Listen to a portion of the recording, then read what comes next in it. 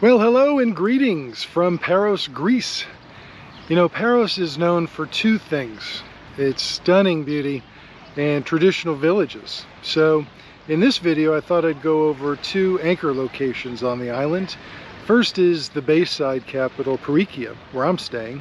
And then just a short ride north, northeast on the island, you reach a town called Naoussa, which is this fishing village that has really gotten a makeover in recent years and really high-end shops and restaurants and just gorgeous scenery around the harbor. So I thought I'd show you those two areas and uh, best way to get started is to get started. So let's start in Parikia near the port. So I'm here at the port on Paros, and even though it's busy and might be a little hard to hear me, I thought it'd be helpful if you've never been to the island to see what you see when you come out of the ferry port. So, with that in mind, there we go. You have a windmill in the middle, which is an information tourist desk. And it's also a good meeting place if you have to meet uh, Airbnb host or another party just say meet at the windmill in the center and they'll know what you mean. Then if you go to the left, along the water, you have the harbor just to the left. So if you're renting a boat or meeting a charter, that's where you're going to want to go. And then about five or 600 meters down is a beach. And in between that beach and here is just a series of hotels, restaurants, shops, cafes, that kind of thing. If you go to the right, the bus station is to the right about, oh, 50 or 100 yards down to the right. And if you continued along the water, again, hotels, shops, restaurants, cafes, and about seven or 800 yards down is a little beach area. If you go straight out of the ferry port, you'll have some hotel stays down there, but it's mostly shops, restaurants, and cafes. So, thought that'd be helpful. Um, I think where we'll start is to the right, and then we'll go to the center where the shops are, and then we'll go down to the left side from the ferry port because uh, that's where I'm staying and we'll wrap it up. Okay, so we're at the bus terminal. We started about 40, 50 yards down at the ferry entrance, made a right, and this brings you to the bus terminal.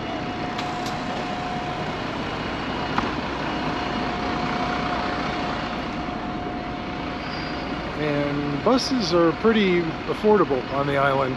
They have a really good schedule too. I'm here in May, so not even the high season. And uh, there's a number of locations around the island that the bus goes to. Um, to give you an example of price, when I go to Naoussa, it costs less than four euros round trip. Um, but, you know, if you go farther than that, it might cost you, you know, maybe eight euros round trip. Um, it really depends, but uh, I'll put a link in the description for the bus station and their routes and schedules. So check that. They also have car rentals and scooters and ATVs and dune buggies and everything under the sun and all different price points. Um, so I won't break that down in this video, but again, check the description. I'll put some links on some research I did and that'll help you out, or hopefully it'll help you out. So as we continue down the road after we took a right from the ferry terminal, we walked past the bus station and the rest of the way to the beach, uh, I thought I'd just put together some clips and a little montage. It's easier to digest that way rather than uh, me just walking around for 10 minutes. So anyway, here's what you can see when you go to the right side from that ferry entrance.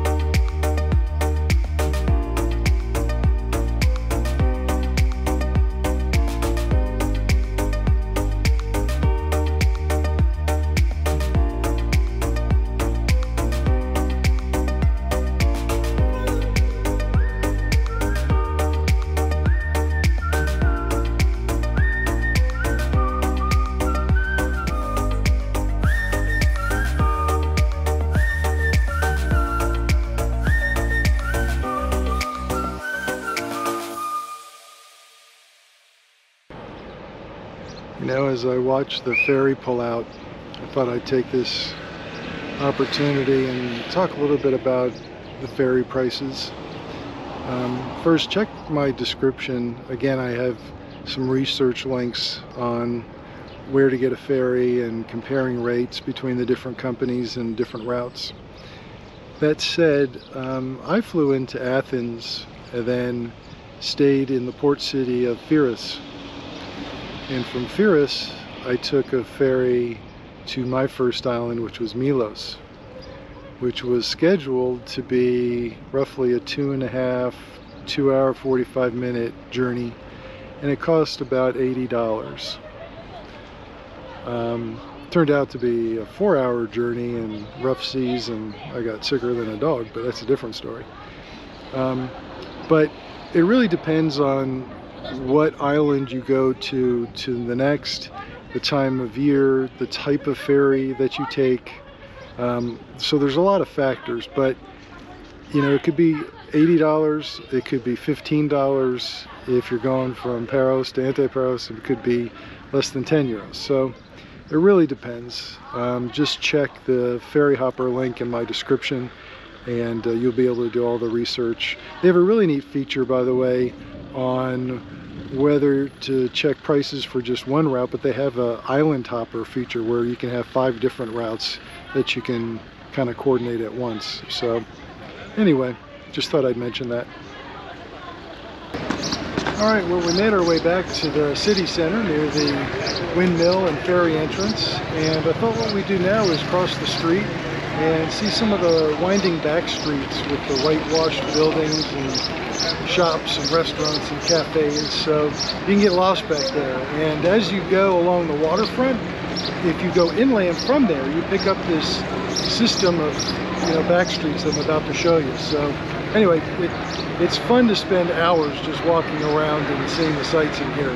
It's, it's really unique, especially if you're not from this area. So let me show you around.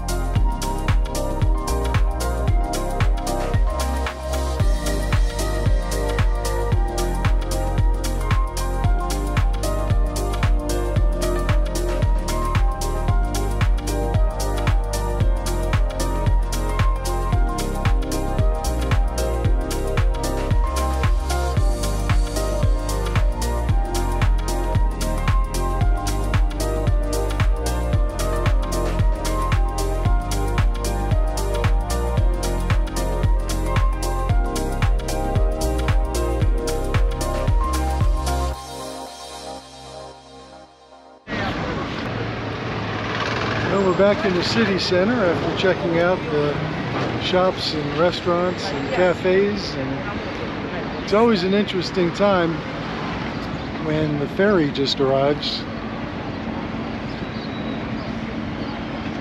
The downtown area gets pretty crazy for about 15 minutes and I thought what we do now is continue to the left We've seen the right and across from the ferry. And now we'll take you down to the left. This is actually the area that I'm staying in. And it's got the boat harbor and lots of restaurants and cafes. So let me show you around the left side if you, or I should say if you take a left from the ferry entrance, this is what you see. You know, I thought I'd just touch on pricing, uh, how much things cost on the island of Paros. And I won't be too exhaustive on this because it's a big island, there's a lot of price points you can cover, and everyone travels differently. But for me, I'm a budget traveler, right? So if I come off money, it's gonna be for the value, right? Um, that said, I can have a nice gyro or street food for a lunch and do that for three or four Euros right? So that's one meal. For dinner, if you wanted to do something a little bit more fancy or sit down, maybe an appetizer and a main course with a bottle of water, you can do that for 15 to 20 euro easy. And that will depend on whether you get something basic like a pasta dish or if you get a whole fish. So it ranges, but if you wanted to budget for a nice sit down dinner per person, 15 to 20 euro I think would cover it. It's nothing great if you want some of the whole fish on the menu or a lobster or some of the fancier stuff that's going to run you more. But uh, I think 15, 20 euro for dinner is good. Uh, that's five for lunch, so you're at 20, 25 euro. Uh, for breakfast, I usually have banana and yogurt in the hotel I'm staying at. Um, so, you know, add another three, four euros on that. That'll give you an idea. If you go out and party and you know all that stuff you know, sky's the limit again. So again it's it's not cheap but 30 euros a day as a budget for just food I think is very doable and you won't be sacrificing anything. Um, again everyone travels differently so you know your mileage will vary um, then on accommodations you know the sky's the limit. You can go inland um, and get something on the low range 25 to 40 euros a night. Um, where I'm staying is less than 50 euros a night and it's a block inland from the beach. And so it's about 500 yards from the ferry and 50 yards from the beach something like that.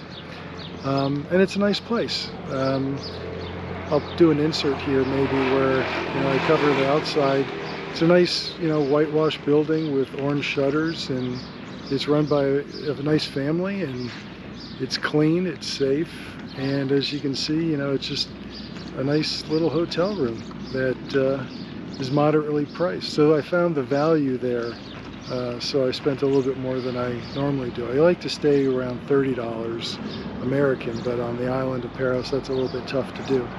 So anyway, um, and then just a note on actually eating out.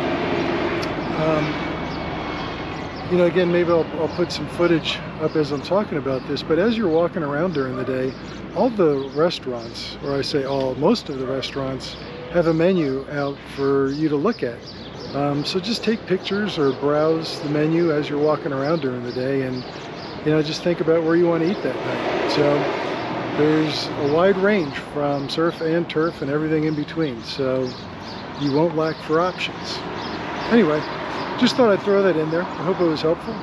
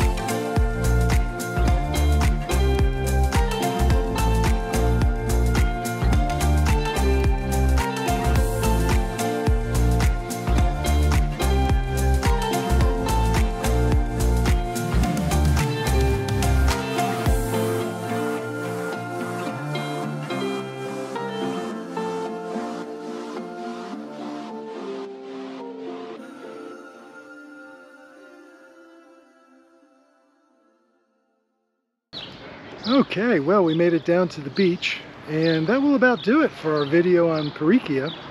Um, it's definitely a town worth visiting.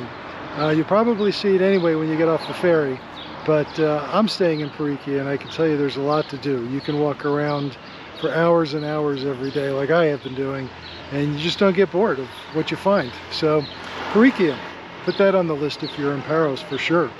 Uh, so what's next? I think we'll get on a bus and go to Naoussa and check that out. So let's go.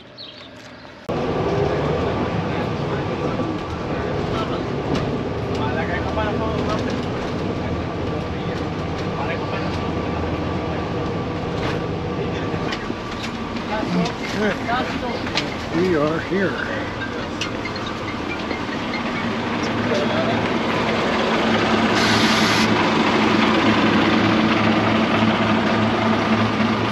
Okay, just got off the bus. We're now in Naoussa.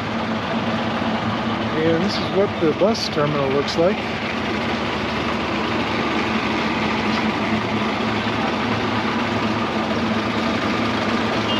Nothing fancy. They save that for the waterfront. So, what you want to do, start heading down that way. Well, welcome to Naoussa. And uh, this area of the video, obviously we're in Naoussa, so um, I thought I'd start on top of the bridge. It's kind of the center point of the downtown area. And uh, I'll start and just kind of point out where we are and where we're going to head so the rest of the video might make a little more sense. So we came down that road from the bus terminal and I'll insert a little picture of the stone bridge I'm standing on. To the right of that stone bridge is the start of the shops and the winding back streets that I'll show you. On the opposite side of the stone bridge is the harbor and to the right if you follow that around is the fortress and then like a little tiny area of the harbor that is kind of the Instagram area and to the left is a small beach on the other side of these buildings and then a big mountain of whitewashed buildings that are hotels and different places to stay. Anyway, that's where we are today in Naoussa and uh, let's walk around. I'll show you the place. Starting on the left side of that stone bridge that we were at, if you follow that down about 150 yards along the water you come to a little path that you take. That leads you to this nice little secluded beach. And on the elbow out there there's some rock formations that you can crawl around especially on the other side of that.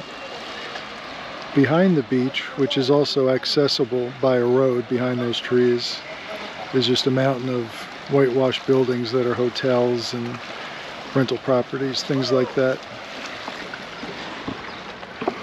So it's a nice little area, nice and private. Um, so I have some footage that I took of the beach and the rock area and the hotels up on the hill. So I think I'll run that in a montage. And just a tip on the beach, you might want to bring some sandals because it's not like powder sand. It's a mixture of coarse sand and rocks and pebbles. So you know, if you got sensitive feet, you might want to bring some flip-flops with you.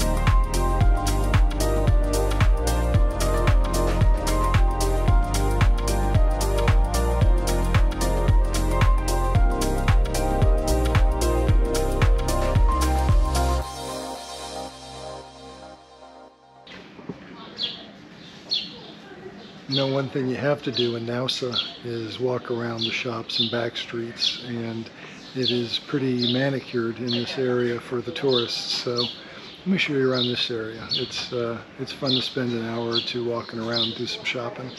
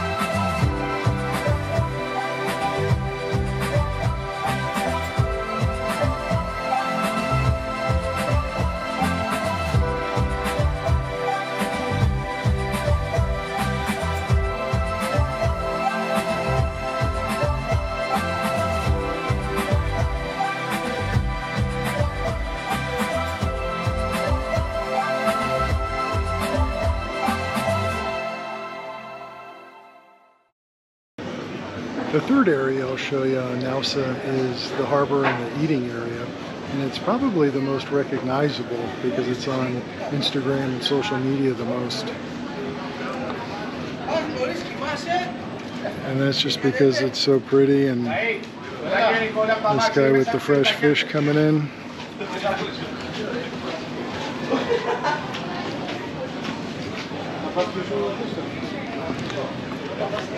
Anyway, like I said, this is a really popular spot, so let me show you around.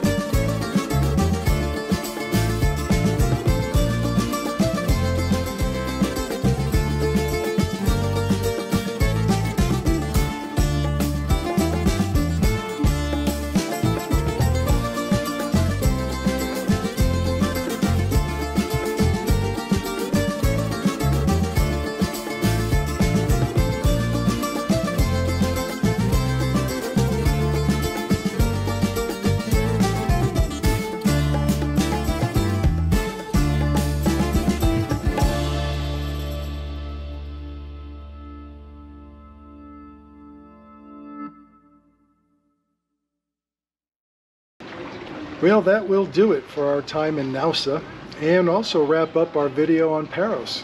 I hope you enjoyed the video. We started in Parikia and when we got off the ferry showed you around that area and then hopped on a bus ride to Naoussa and showed you around the harbor and that area.